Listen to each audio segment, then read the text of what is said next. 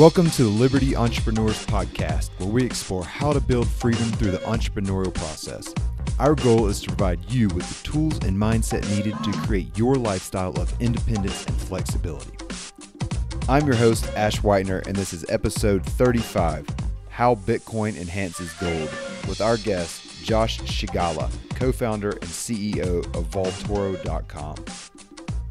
Josh didn't start out in finance, gold, or even Bitcoin, but instead he found a niche creating 3D animations at the dawn of their existence. Basically, when Toy Story 1 was coming out, Josh was working on his own short films.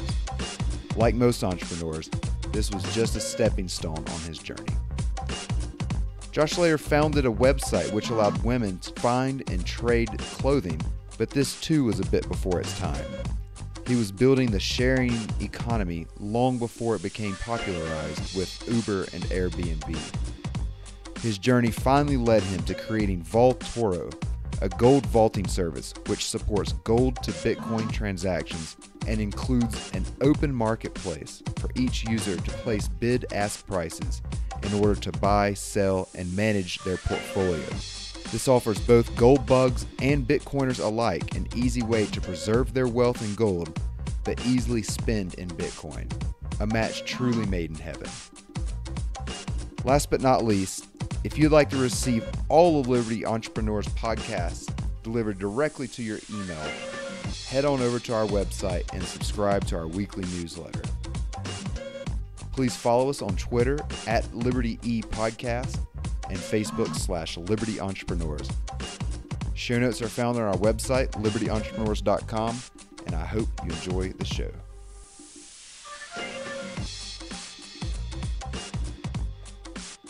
So I'm happy to welcome on the show today Josh Scigala, co founder and CEO of Vaultoro, which is a Bitcoin and gold marketplace and vault. Uh, Josh, thanks so much.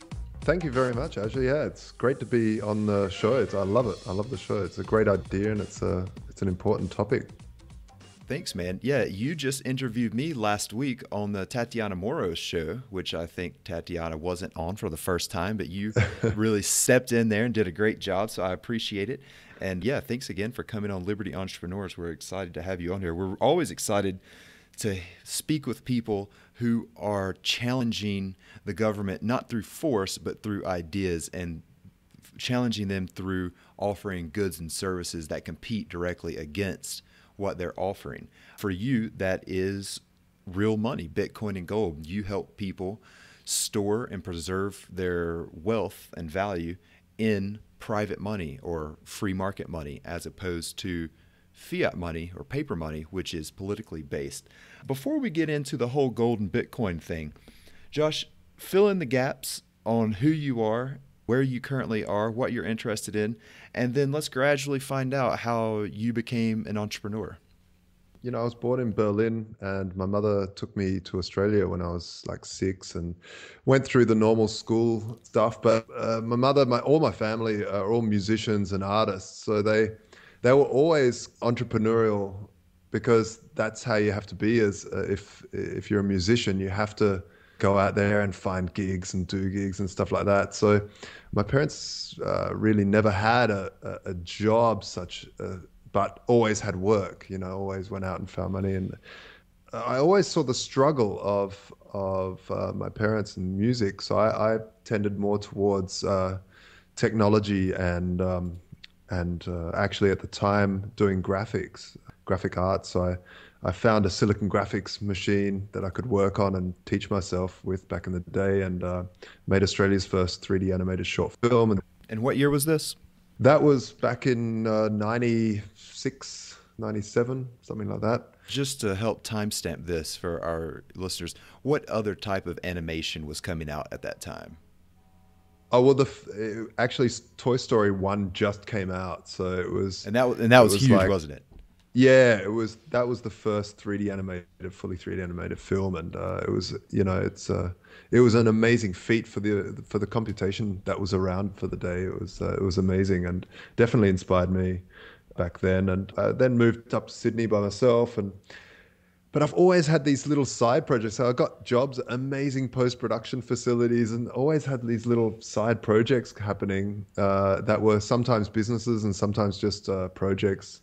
And uh, one of them was a swap, uh, the world's first swap site for women's clothing, because I noticed that a lot of people were just there was so much waste in that whole clothing industry. And i was I, have always had a fascination with alternative economies. And that's why i'm in gold and bitcoin uh, nowadays. But uh, seeing how we can deal with trade without money and it really was a big lesson in how how money what money is and how it plays a part. And uh, because swapping is fantastic you know it's a really cool way of going about trade but it's very cumbersome. So you know I might like a, a, a pair of mm. jeans that you've got, but you don't like any t-shirts that I've got. And so, but you like t-shirts that someone else has. And so, you know, and whereas a token really makes that work. Yeah. Yeah. I think they call that the double coincidence of wants, don't they? Right. Ex- it, yeah. Yeah. It's like, what's the coincidence of you having what I want and I having what you want and us finding each other and then still wanting that stuff and then making that exchange. That that's why money's so beautiful and important is that you know it's it's the most common commodity that people are willing to accept for goods and services. But you created a, a sh- basically a sharing site where women uh, could come on and list their clothes, or they could browse and see if there's something they wanted. Would they have to swap? Would they be able to purchase? Was it a marketplace as well, or was it only you know, hey, you ship me this, I'll ship you that? Yeah, it was a marketplace as well, um, uh, kind of thing. So you basically went up and you uploaded as many items as you could, and then you searched through other people's stuff and you put things in like a search request, and that would then get sent off to them saying, hey, this person likes this um, have a look at their items. Is there anything you like? And you can quickly click no or yes, that, that, but I'll give you, you know, this and that if you give me that. And, and it's a sort of negotiation engine that we built. We did run that for, I think it was nine, oh, eight years. It was the, it was way before all the sharing economy of Airbnb and Uber and, and so the now, but back then people would look at me like, uh, what? No one would want that. And I was thinking, oh, you go to the op shop, don't you? You know, you, you buy other people's old stuff. And so, yeah, exactly. I mean, you, you were in the sharing economy before the sharing economy was cool. Was a thing. Yeah, yeah. Yeah, it was even a thing for the most part. That that's really interesting that it was just women's clothing as well, as opposed to just all clothing. Did you find the the demand or the market for women's clothing was just that that much larger? Well, and you know this is a this is an actually this is a good tip for entrepreneurs out there is that uh, we started as an actual swap everything site and no one was talking about us. You know, it wasn't really interesting. Then we decided, let's just cut it back to women's clothing only. And all of a sudden, we had every woman's magazine contacting us. We had massive amounts of press, free press, because all of a sudden you're in a niche that they can cling onto and they want content. And when it was everything, it was like, uh, yeah, I guess it's interesting. They didn't really know how to cover us. So that's, I think, really, it was a big lesson. Yeah, John Lee Dumas, who has made one of the most popular podcasts out there, Entrepreneur on Fire, he has a saying: "The riches are in the niches." Basically, if you can niche down far enough where people really understand what you're doing, and you give one niche product or service, and you do it really well, then that's how you gain a big following. You know, for Liberty Entrepreneurs, our niche is helping people get in a mindset where they can provide freedom in their own personal lives through the entrepreneurial process. Yeah. It's not, hey, we're going to help you get freedom and we've got a 101 ways for you to get freedom, right? Mm-hmm. No, ours is very specific. I think that the best way for you to get freedom in your life is through the very niche, small thing of the entrepreneurial process. So it makes a lot of sense that now people are able to see you and the the women's clothing swap site and really latch onto it, understand quickly what it is, and if that appeals to like maybe some fashion magazine. I, I won't dare try to name. I have no clue. Our last guest, Marie McGrath, out of Panama, the fashionista from Panama. She might be very interested. Marie, if you're listening to this show, I think you should contact Josh and see uh, see what you can learn there. But Yeah, the riches are in the niches. And we've definitely got a niche now with Vaultoro. I mean, it's it's a Bitcoin gold, so it's within Bitcoin and it's the gold niche of Bitcoin. you're the bridge between those two. Bring us up to speed on what you're doing now. What is Vaultoro? How did you get the idea for it? And like, wh- who are your ideal clients? Yeah, so you know, I I always feel when when life gives you lemons, make really good tasting lemonade and sell it to thirsty people and that's really what happened when Mount Gox collapsed for me.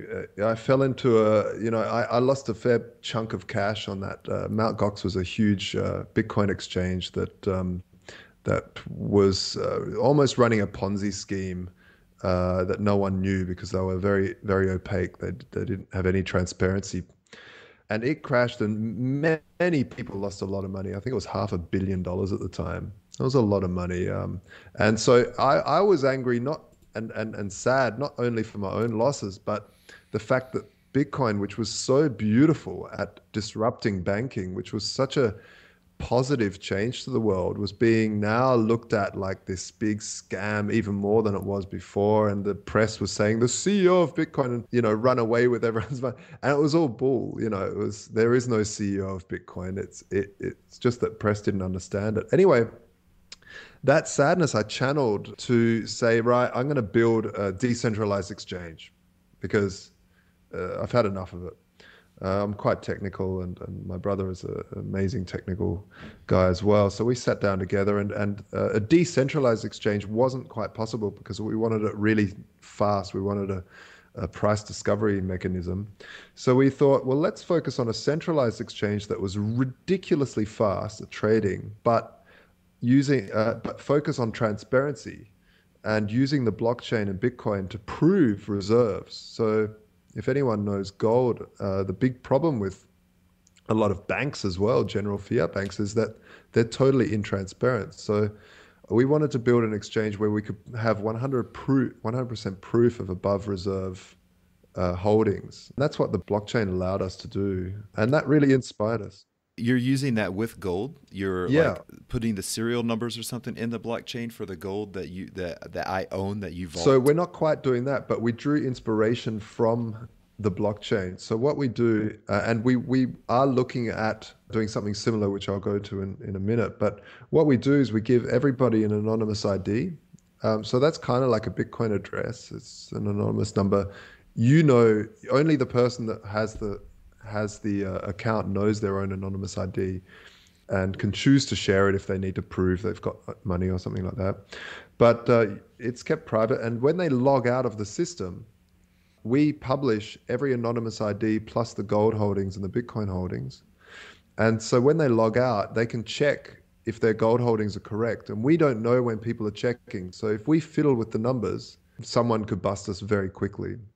What they do is they check, okay, I've, the right amount is for my anonymous ID, and then they could because they can see everybody's, they can see the sum of all holdings, and then they see the uh, the vaulting facility statements that come out every week of how much gold is in the vault, and they also have the BDO International Auditing Certificate. So that's you know the third largest auditor in the world. It's a multi-billion multi-billion dollar auditor, and then also the insurance certificates. So they can see exactly how much gold all of our users hold and how much gold is in the vault. And then the Bitcoin side, that's where you can check it on the blockchain right. and say, oh, yeah, well, they're cold wallets because we show our cold wallets so they can see the addresses and okay, it all matches up. And, and you know, if, if Mount Gox had that, red flags would have come up ages ago.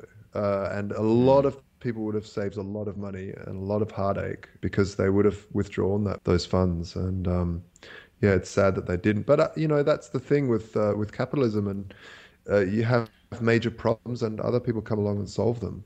That's right. That's exactly right. That's that is capitalism. That is entrepreneurship. Is what what pains, what struggles do I see in society?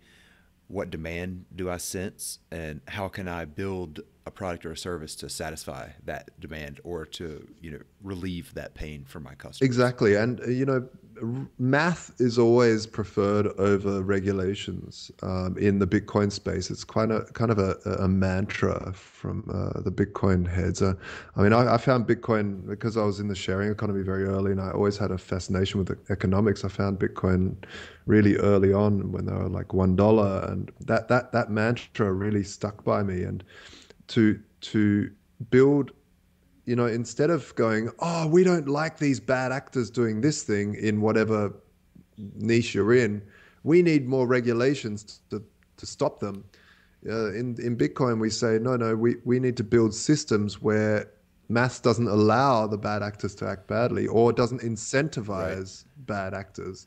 Right. It actually de incentivizes bad actors because of all of the resources that they would need to use just to try to plan an attack that will most likely be unsuccessful. But it, it makes a lot more sense to work within the the rules or the the mathematical regulations, not political regulations, but the mathematical regulations of Bitcoin, and use it as a tool of commerce instead of trying to uh, to attack it. For absolutely, and and this is where you flip over from uh, rulers to rules Right. And and this is a, a key difference that a lot of people don't understand about the concept of anarchy of of anything in anarchy is, is that uh, they think oh there's no rules. Uh, that's not true. Anarchy is everyone needs rules. We need rules in society. It's just how it is. But the concept of a ruler and giving massive amounts of power to them is a dangerous concept, and that's as much as we can pull away from that uh, to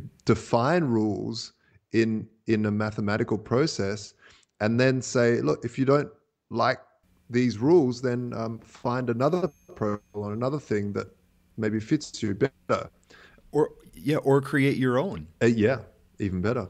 Or create your own. If you don't like the mathematical rules associated with like Bitcoin or the blockchain, we won't get too detailed into this, but if you don't want to play by those rules, nobody's forcing you to play by those rules. Go create Bob Coin or Sally Coin or Fred Coin and you know write your own code and write your own rules and see how many people will voluntarily start using yours. It's a it's it's a really great system that we can now through mathematics have objective rules instead of having subjective rulers who a you know maybe a judge is having a bad day and sentences one marijuana smoker to 10 years in prison but lets the other guy off with 30 days or something now no no no it's not your subjectivity it's mathematically based objective rules of a system where you you're more than welcome to come in and use the system but these are unbendable rules because they're backed by you know logic and math. Yeah, that's right. And you can see that, um, for instance, Freicoin was a coin based on what's called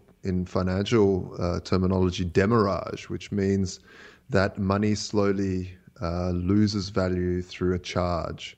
It's a, it's a strange concept, but basically, what he tried to do was say, uh, well, I'm not really into Bitcoin. I want a coin where when you hold it, it loses value. It adds value back to the network the longer you hold it, and it promotes people spending. You know, this coin did a big pump everyone jumped in and then everyone realized it's crap. No one wants to hold a coin that's losing value. It's really interesting because Augur is doing the same thing, the Ethereum based Augur. Yeah. Uh, the prediction market, it loses value if you don't use it. So I'm I'm really interested to see if people start dumping that. Right, well. right. Interesting. So, you know, and, and what I find beautiful about cryptocurrencies is that you can get a group of people together and try an economic theory out without any violence. Before we basically had Marxism or communism or uh, socialism and all these isms that would end up with gulags and horrific br- breadlines and starvation uh, and violence to back some of these philosophies up. But with uh, with some with some cryptocurrency with cryptocurrencies, you can try a coin that does some economical function without any violence attached. And if it fails, it fails. If the free market says, you know what, uh, no, I'm, I do not like Filecoin, I, I like Bitcoin because it's capped and it's uh, whatever you like about it. It's a very fascinating time to be alive because we can see economic theory in action right. on and off the radar and be tried. Yeah. And that's uh, it's fantastic. It's a real fertile test bed right now for economic theories and just money and the different types of money. It's really, really special times right now that we have the freedom finally to create our own monies where we don't have to go through the, the regulation or the production cost to mint the monies. We can just, you know, you and I right now could create a new cryptocurrency in just a couple minutes. And maybe people use it, maybe they don't, but there's an opportunity there. Let's back it up a little bit, Josh, and go back to the gold and Bitcoin because this is something that is near and dear to my heart. I've I've been a gold bug for a while. Before Bitcoin was ever invented, I was buying gold and silver and precious metals as a alternative form of currency to try to protect myself against the inflation or the devaluation of the political money, uh, the U.S. dollar, the euro, etc. Yeah. But a lot of gold people, you know, they call themselves gold bugs. A lot of gold bugs don't yet appreciate Bitcoin. Whereas I see Bitcoin people, they don't talk about gold a lot, but they, for the most part, have a lot of appreciation for gold. Why do you think gold bugs or precious metal or hard money people in general are having a much more difficult time understanding and accepting Bitcoin as a new currency and, and money? Yeah, I mean, I don't think it's only gold bugs. I think it's a lot of people don't understand Bitcoin um, because it's it's very it's a very technical thing, and you have to be a little bit technical to, to even understand that the fact that it can't be hacked. And a lot of people say oh, it's a computer thing; it can be hacked. But Bitcoin as a protocol can't be hacked. It's like saying you can't hack two plus two to equal five. It's it's a math, it's a base math protocol, and uh, and so you can't. It doesn't matter what you do. Two plus two is always four, and so that can't be hacked. But really, what you've also got is is that gold bugs, especially, have spent a lot of energy and a lot of time um, saying that fiat currency is bad. It's backed by nothing. It's made out of. It's printed out of thin air. It's value created out of thin air. And gold is found into existence um, and spent into existence, whereas fiat's, uh, you know, it's it's uh, it's it's lent into existence and all this other thing.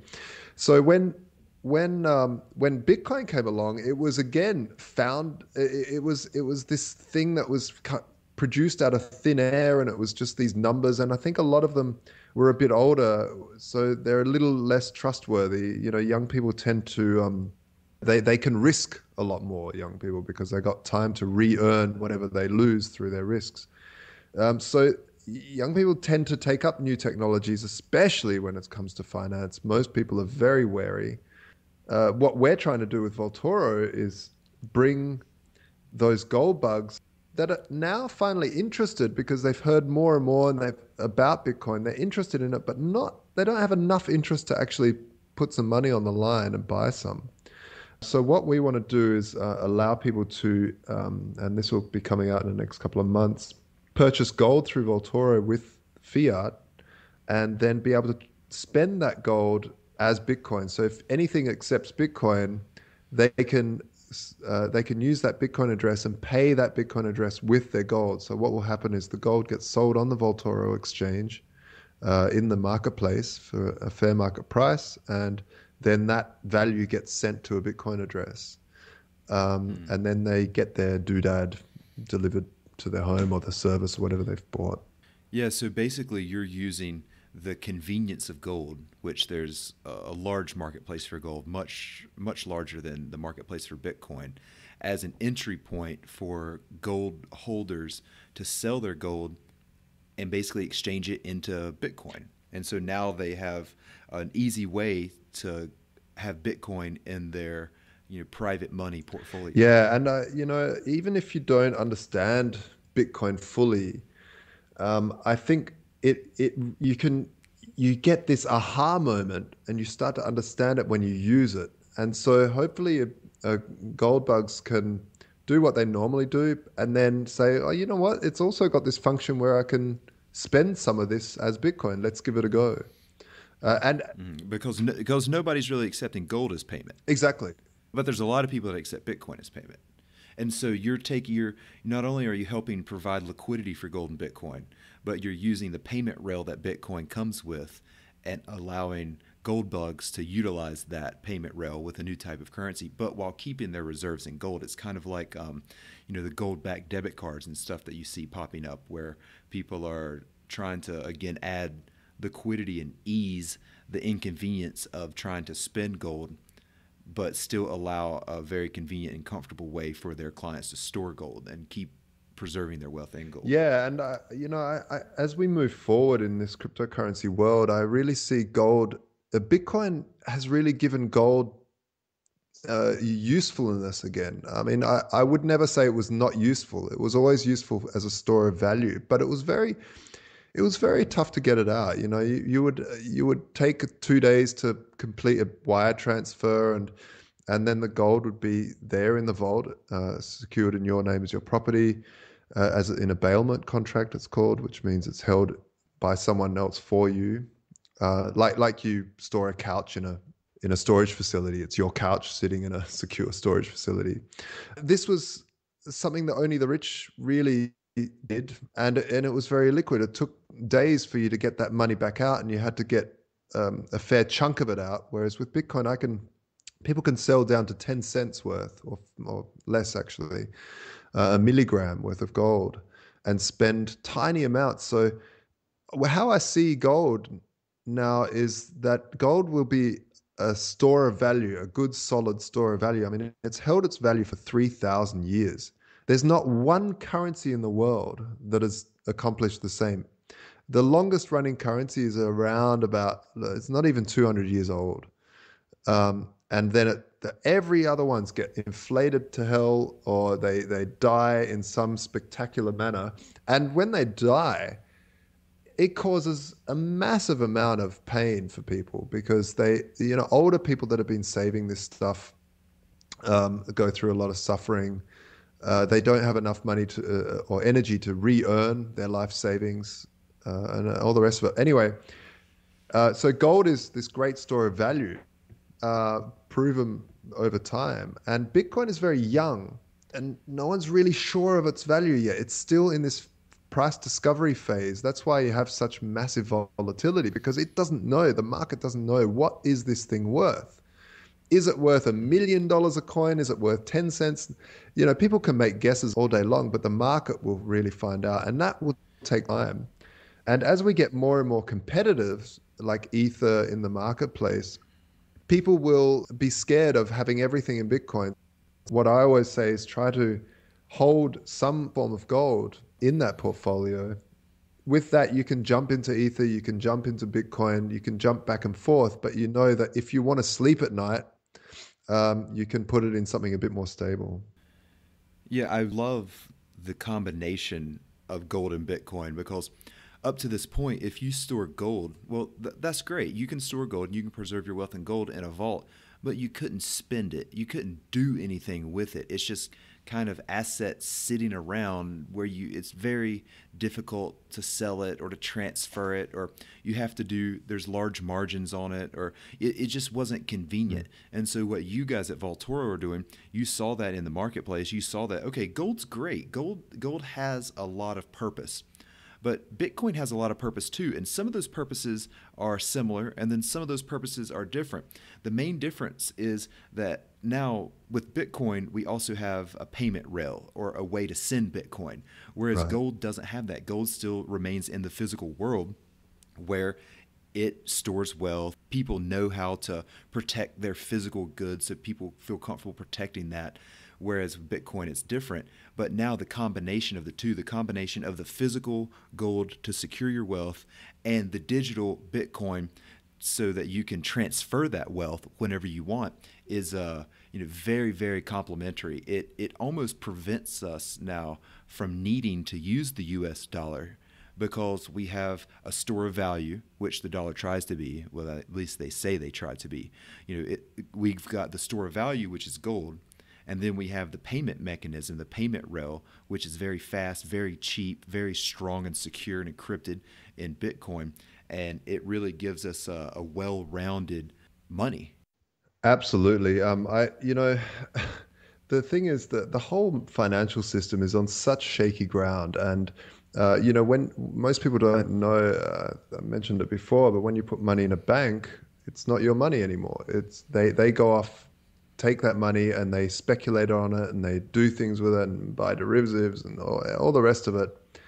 And you don't. You, all you have is a promise. And in fact, Deutsche Bank um, just recently started using language uh, in their uh, in their uh, terms of use, which was quite interesting.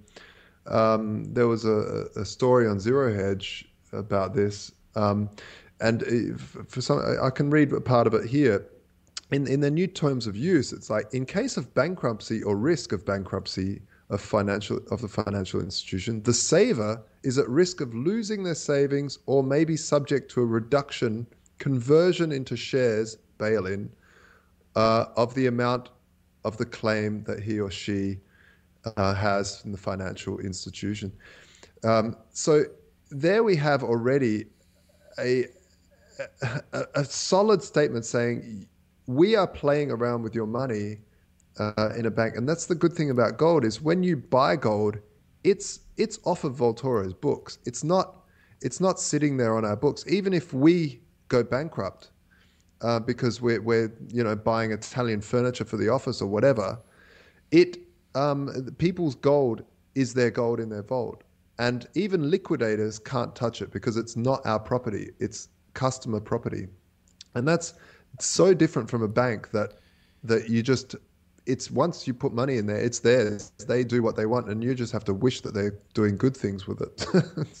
Yeah, that's right. And most of the time, they're not. They're not even incentivized to doing good things because they know they're going to get bailed out.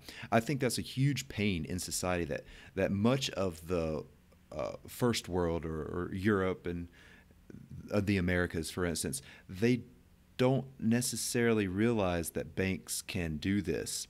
You know, we saw it in Cyprus. Ask ask the people living in Cyprus what it was like to have you know their money taken from them whenever their banks collapsed. Yeah. And this is something that I appreciate what you guys are doing because you're storing allocated gold for people as a means to help preserve wealth, get some of your wealth outside of the banking system.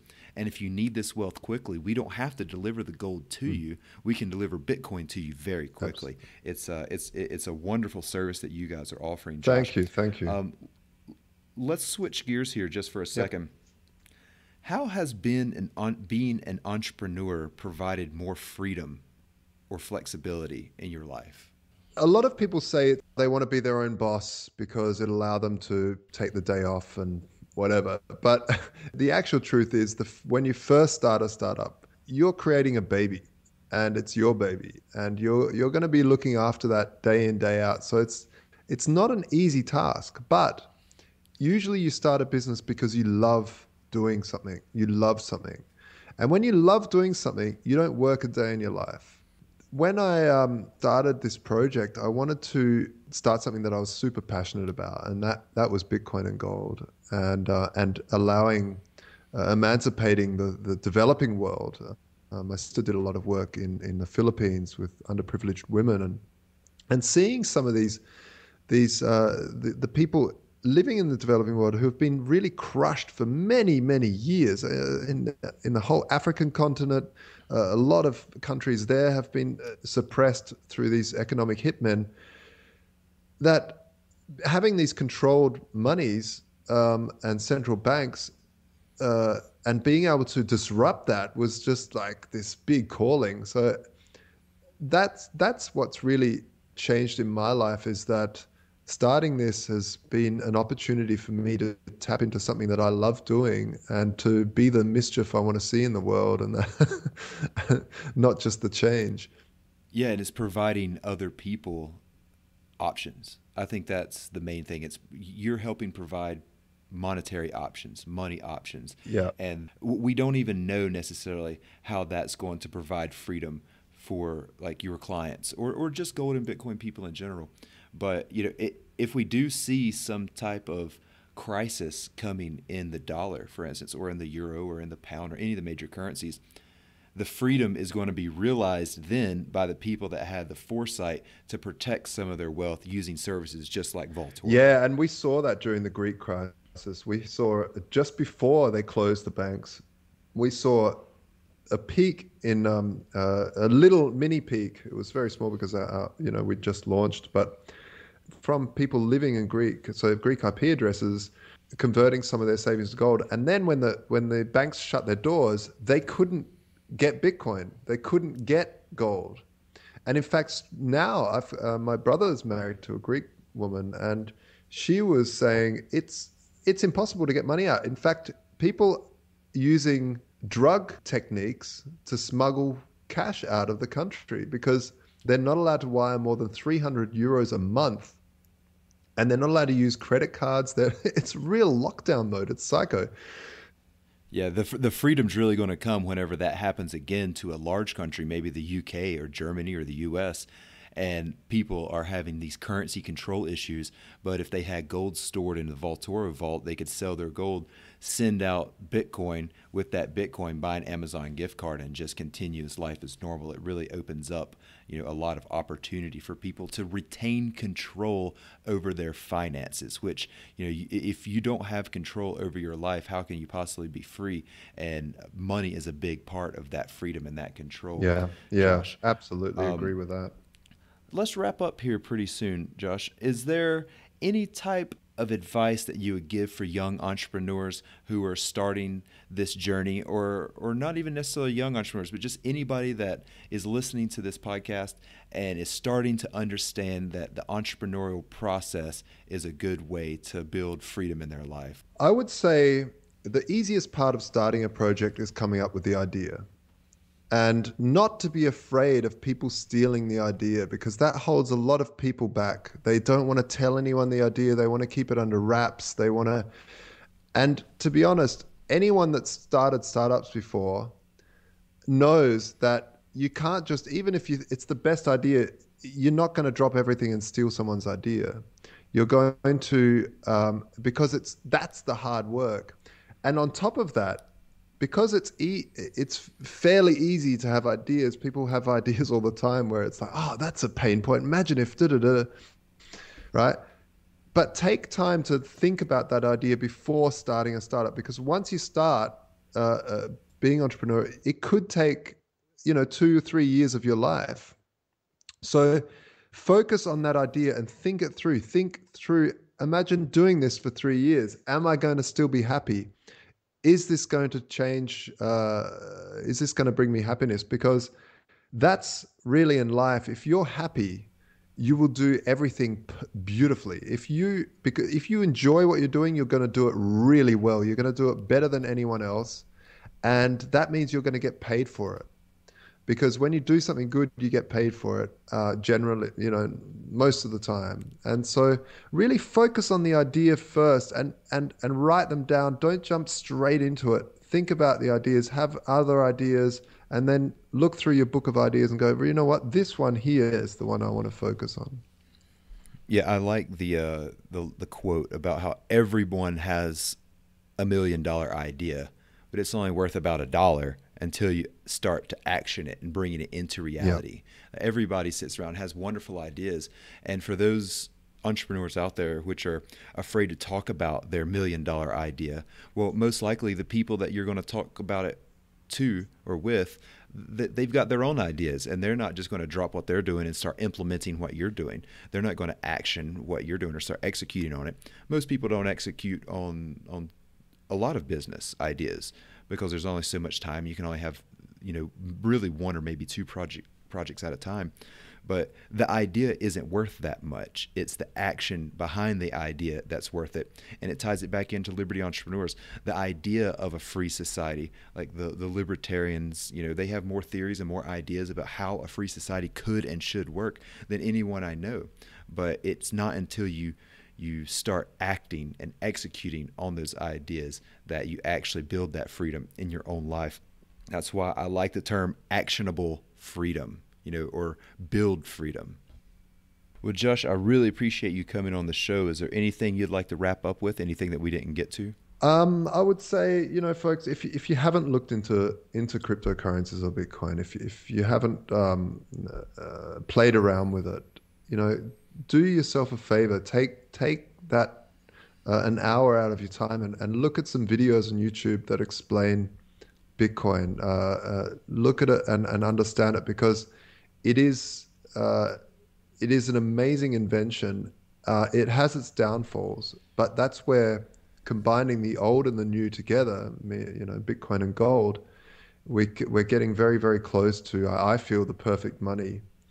And uh, uh, having money that's spent into existence and not lent into existence with debt.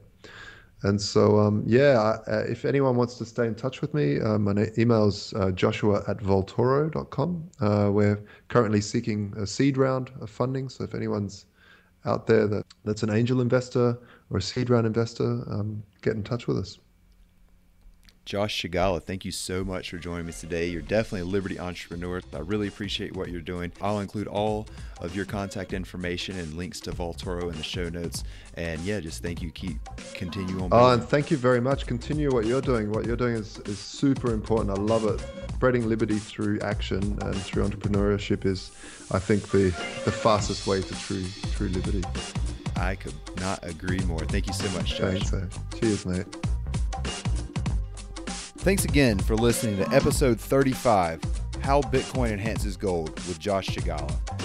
If you have a chance, remember iTunes ratings are extremely helpful. And if you could do us a favor and leave an honest review, it'd be greatly appreciated. I'll leave the iTunes link in the show notes. And thank you so much. Until next time, keep building freedom.